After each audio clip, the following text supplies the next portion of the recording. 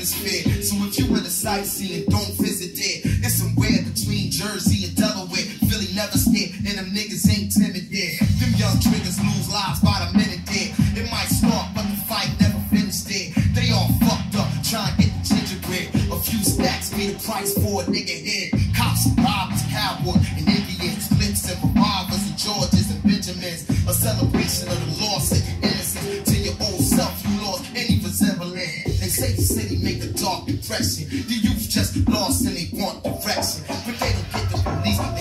protection and walk around